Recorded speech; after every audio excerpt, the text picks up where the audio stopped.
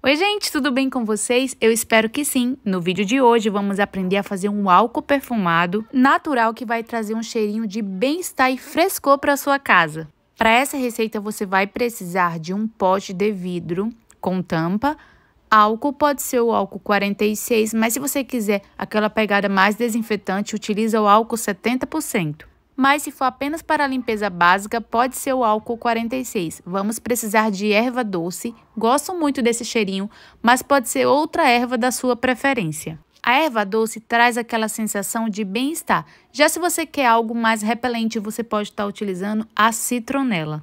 Para cada 10 gramas de erva, você vai utilizar 100 ml de álcool. Coloca tudo aí, fecha bem esse vidro e deixa ele descansando por no mínimo três dias, mas após sete dias o álcool está perfeito. Alguns álcools aromatizados têm um cheiro muito sintético. Esse daqui não, ele tem um cheirinho super natural, é fácil de fazer.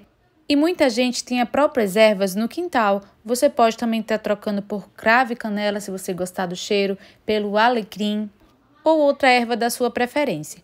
Agora, no próprio frasco do álcool, eu vou colocar todo o álcool perfumado que já apurou aí na erva depois de vários dias.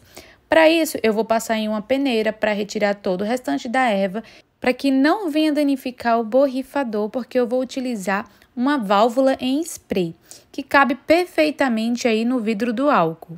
E se você está gostando da receita, não esquece de deixar o seu like, comentar e também se inscrever no canal se você não for inscrito onde eu utilizo esse álcool perfumado praticamente para tudo aqui em casa. Eu utilizo nos móveis, tanto por fora como por dentro, quando eu estou limpando.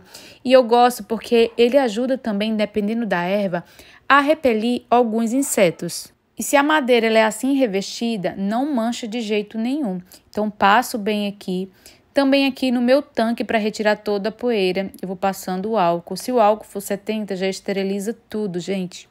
Gosto também de utilizar na bancada da cozinha. Eu sempre passei álcool na bancada da cozinha. Porém, o álcool perfumado, ele deixa aquele cheirinho bem mais gostoso no ambiente.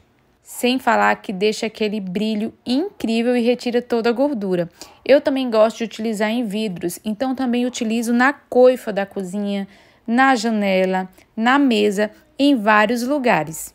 E essa é a dica de hoje, simples, fácil e rápida. Eu espero muito que vocês tenham gostado. Se gostou, não esquece de deixar o seu like, de comentar. Me diz a cidade que você me assiste para eu saber até onde o meu vídeo está chegando. Que Deus abençoe vocês, a família de vocês. Obrigado pela audiência e até os próximos vídeos. Tchau!